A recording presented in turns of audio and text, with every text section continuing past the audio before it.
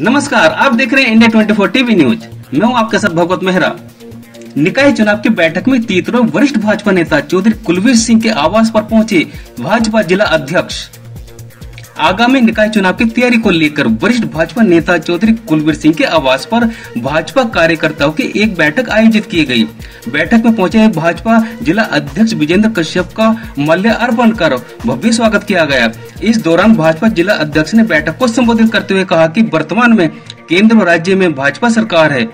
जिसमें जनता का रुझान है। आज देश की जनता हर जगह पर भाजपा सरकार चाहती है। अभी तक भाजपा ने पूरे देश में चुनाव जीता है, इसलिए बहुमत की ओर है। इसलिए निकाय चुनाव में भी भाजपा विजयी होगी। उन्होंने कहा कि निकाय चुनाव में पार्टी की ओर से किसी एक भाजपा कार्यकर्ताओं का सिंबल दिया जाएगा।